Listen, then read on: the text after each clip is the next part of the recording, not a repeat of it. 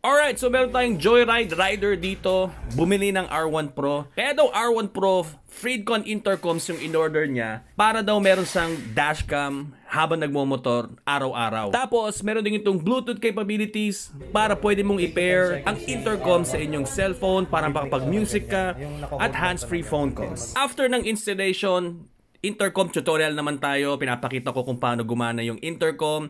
At dito naman pinapakita natin kung paano niya i-download yung mga recorded footage niya using the Roadcam app. There you go! Freedcon R1 Pro with video camera, 6-rider intercom, Bluetooth capabilities, water resistant, 1 year warranty, 5,500 pesos each lang.